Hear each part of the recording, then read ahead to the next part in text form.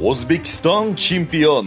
42 davlatdan 277 jamoani o'zida jamlagan 7 xalqaro armiya o'yinlarining sodiq do'st musobaqasida O'zbekiston Respublikasi Mudofaa vazirligining harbiy kinologlari zafar quchib faxrli birinchi o'rinni qo'lga kiritdi. Ta'kidlash kerakki, bu yilgi bahslar Jazoir Xalq Demokratik Respublikasida bo'lib o'tdi. Unda O'zbekiston Mudofaa vazirligi kinologlaridan iborat jamoamizning erkaklar va ayollar jamoasi muvaffaqiyatli ishtirok etib, chin ma'noda sensatsion natija ko'rsatishdi. Mazkur musobaqada ishtirokchi jamoalar belgilangan nishonlarni TOS sakkiz quroli bilan yakson qilish. Jamoamiz vakili serjant Ulug'bek Nurullayev 300 metr masofadagi to'siqlarni xizmat iti bilan yengib o'tish yo'lagidagi yangi rekordni o'rnatgani ham ushbu g'alabaga muhim hissa qo'shdi.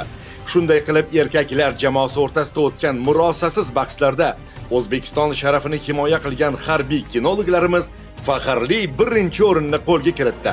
Ikkinchi o'rinni esa Rossiya Federatsiyasi jamoasi va uchinchi o'rinni Belarus vakillari band etishdi. Bu yilgi musobaqada ayollar jamoasi ham ilk bor ishtirok etdi.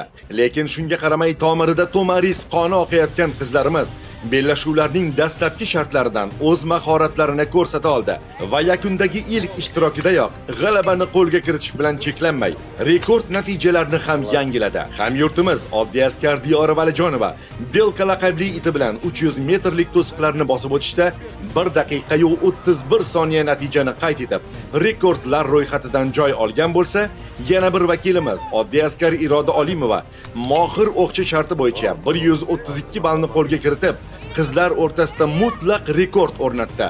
Shunday qilib ayollar o'rtasidagi musobaqada birinchi o'rin O'zbekiston, ikkinchi o'rin Rossiya Federatsiyasi va uchinchi o'rin Jazoir Xalq Demokratik Respublikasi jamoalariga nasib etdi.